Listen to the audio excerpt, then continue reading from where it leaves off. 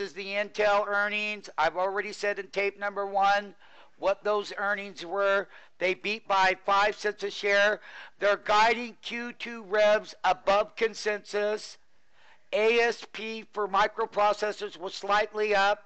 They're giving the upside guidance. I want everyone else to know that the uh, gross margins are 60.4% and gross margins to 64% plus or minus a couple of percentage points versus 61.6% and that's up higher.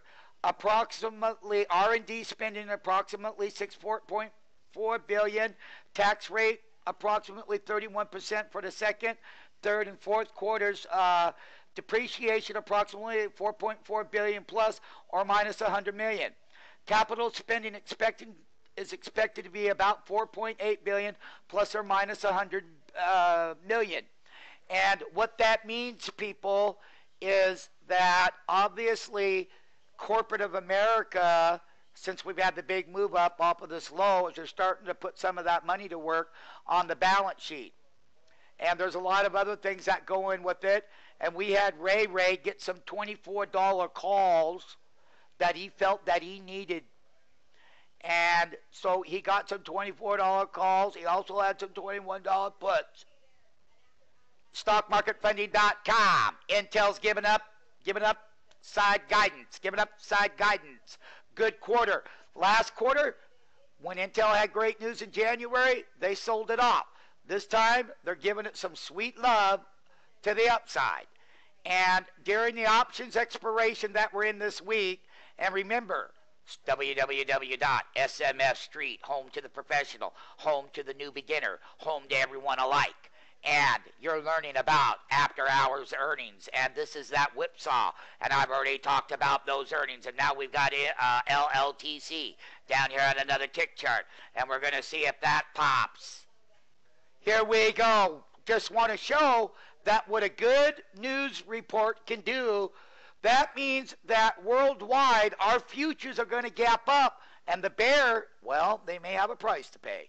And let me tell you another thing. I just want people to know that Google closed at 586.77 and we got a 589.20 asked. And because of the good news here, market futures are gapping up in after hours. That takes equities higher. Say I've been given a gift. We own Google. All right, here we go on Intel again and after hours. I've already told everyone of part one and part two, and I've told everyone about what it is. And once again, you want to learn how to be an expert trader. Our traders in our pro trading school, and they in their school, after hour earnings are included.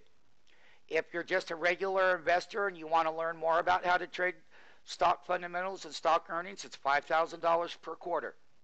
And that's where we take you through the whole earnings quarter of all the publicly traded companies for that very low price of $5,000. Now, if you're in the pro trading school, well, that's included. So you would actually save money by being in the 52 week school because it's included. But if you're not in the SMF Pro Trading School, that is what your cost is to you. And they did good, and they're going to be up and down. It doesn't move a lot, lot, lot like the high beta stocks. But what sets the ringtone is the ringtone for other semiconductors and where we're at in the semiconductor cycle. And also where we are at as far as um, the actual new product cycles that are coming out. Like I always told people a year ago, what technology does, it forces you off the sideline into the store to upgrade. And corporate corporations will have to upgrade their infrastructure. Uh, even us as individuals have to upgrade. And that's one thing about technology is when times get tough, it's about obsoleting the old product out and making you as a consumer come in and buy the new product. They've been doing it for a number of years. Uh, LLTC, which is right here, they're going to report. I don't have a report yet. And the thing about it is, it's gapping up with Intel and sector relation gap.